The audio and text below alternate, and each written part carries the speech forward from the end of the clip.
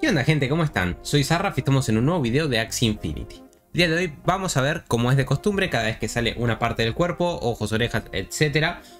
Sale al día siguiente eh, un usuario de Sky Mavis que va a Discord y responde a algunas consultas que hacen los usuarios respecto a esas cartas o respecto a cualquier cosa que tengan de Origin. Hay algunas que las responde, hay otras que obviamente no.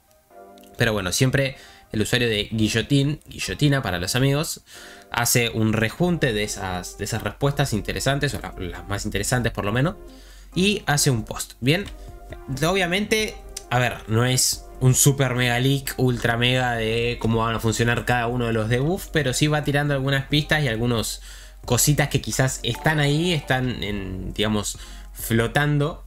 Y, y nada, la idea es ir cerrando un poco el espectro de las posibilidades o, por ejemplo, acá la primera pregunta que hice.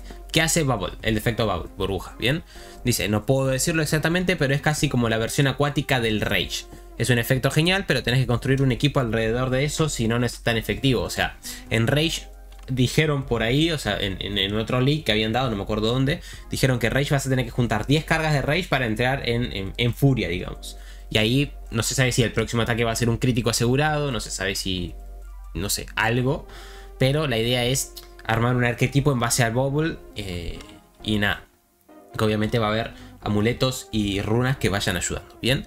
Después dice, ¿qué hay de Scry? ¿no? ¿Qué hace Scry? Scry es muy similar a cómo funciona en otros juegos de cartas. Según tengo entendido, en, Magic, por ejemplo, Scry te permite agarrar cartas de arriba de tu mazo, no sé, 2, 3, 4, 5, las que sean, y acomodarlas. Si querés que algunas se vayan para abajo del mazo, si querés descartar algunas, si querés dejarlas arriba, lo que vos quieras.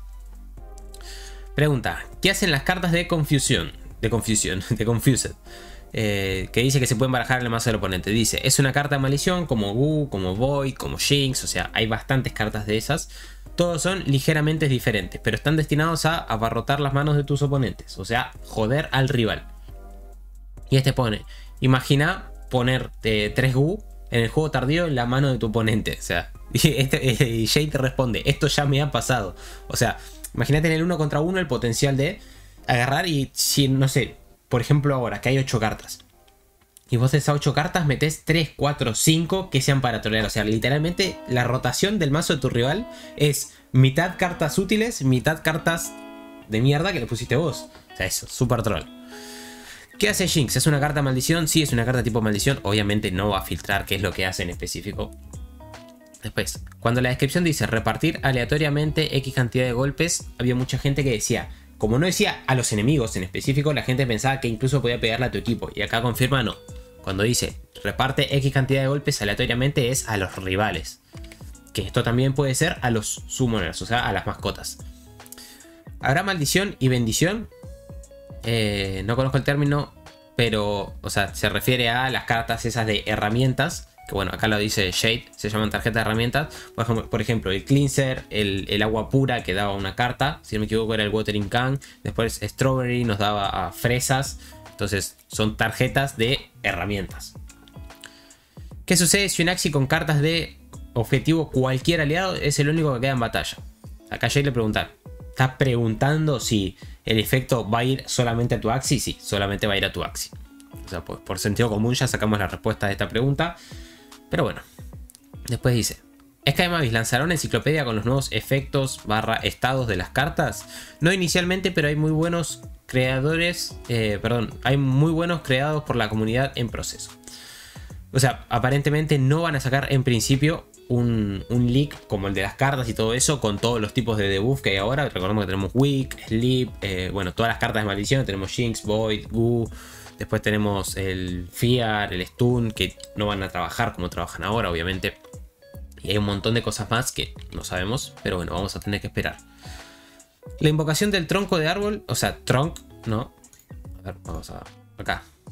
Trunk es, es más OP que las demás invocaciones, le pregunta. Y le dice, no necesariamente.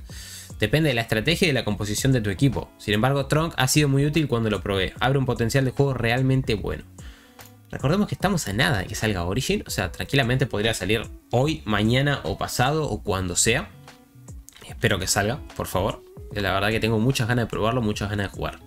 Después dice, en el texto de eh, Innocent Lamp, que es una carta a la oreja que tenía un, texto un poco confuso, dice que funcionaba como si fuera un mirror con otra carta de skill, ¿no? Pregunta. Es un poco confuso para mí. ¿Se garantiza que cada Axi tenga una carta de habilidad o si tiene... O si tiene varios. Dice, no todos los Axis tienen una carta de habilidad. Puedes saber si una carta de habilidad si tiene la etiqueta de habilidad. Obviamente tiene que decir skill para que sea una carta de habilidad. Y de ahí vos elegís una y la haces como un mirror, digamos. Entonces, en Origin, el, RNG al aspecto está solo en el sorteo de las cartas. Acá la Claire dice, no. Hay habilidades de cartas que también tienen un aspecto aleatorio, otro de RNG, por ejemplo, la que dice pega 4 hits, pero aleatorio. Vos le puedes pegar los 4 hits al mismo Axi y dejarlo casi muerto.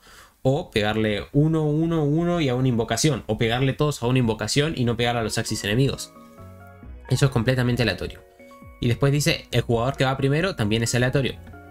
De nuevo, o sea, como todos los juegos de cartas prácticamente, el que haya jugado Hearthstone, el que haya jugado lo que sea, se tira una moneda al principio y alguien va primero y el otro va segundo. El que va segundo obviamente tiene una pequeña bonificación por ir segundo, ¿no? De, no sé, empieza con una energía más, pues se le permite descartar cualquier carta que tenga en la mano y reemplazarla por otra y así.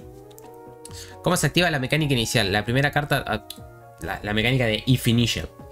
Dice, ¿la primera carta de ataque o la primera carta utiliza? Porque capaz que se pueden usar secretos y después tirar esa carta de ataque. Dice, no, es la primera carta que usas en ese turno. No importa si son secretos, no importa si son cartas de skill, no importa si son powers, no importa nada. Después dice, sigue presente la debilidad de tipo, o sea, si un pez le pega a una planta, ¿le va a ser menos efectivo? Dice, no intrínsecamente.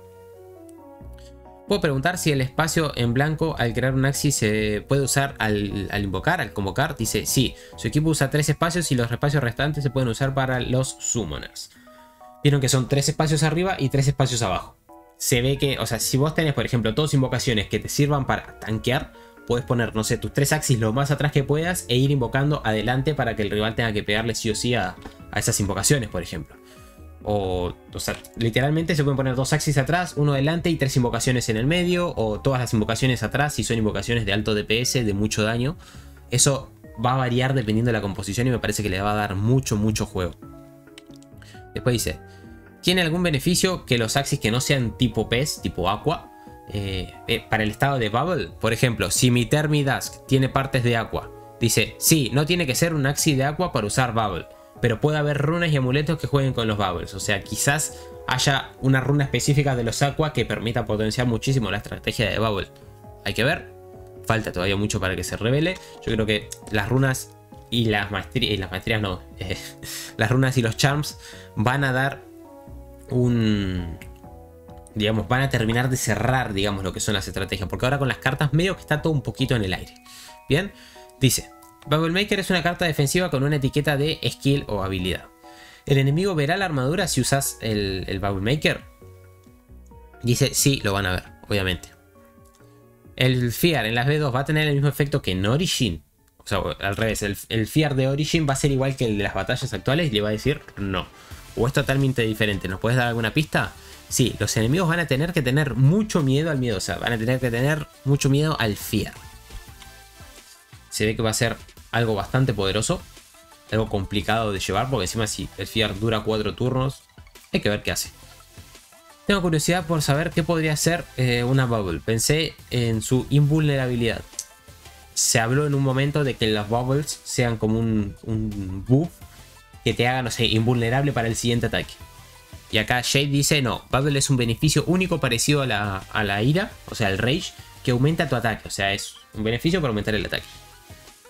Acá dice, después, algo también que siempre se armaba el debate en los comentarios de si sí, de si no, que es algo que yo les venía diciendo, es los Nutcrackers. ¿Cómo van a funcionar? Y acá básicamente confirma que se acumula por su uso. El primero 60, segundo 66, 72, 78 y así se van acumulando.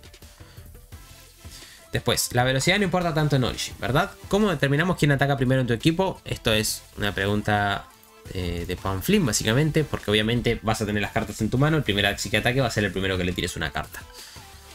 ¿El aumento del daño es del 20% como las B2? No. De lo contrario, agregar 4 aumentos de daño sería OP. O sea, se refiere a los boosts de daño. Vieron que hay cartas que dicen, por ejemplo, Cuco.